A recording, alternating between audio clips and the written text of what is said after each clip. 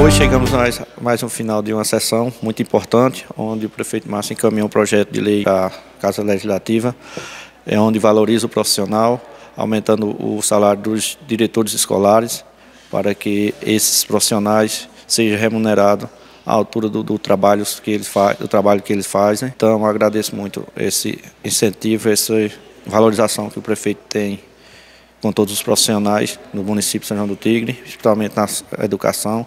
E também agradeço aos colegas vereadores que votaram por unanimidade. Chegamos ao final de mais uma reunião, onde hoje aprovamos o reajuste dos diretores escolares. Então só tenho a agradecer a todos.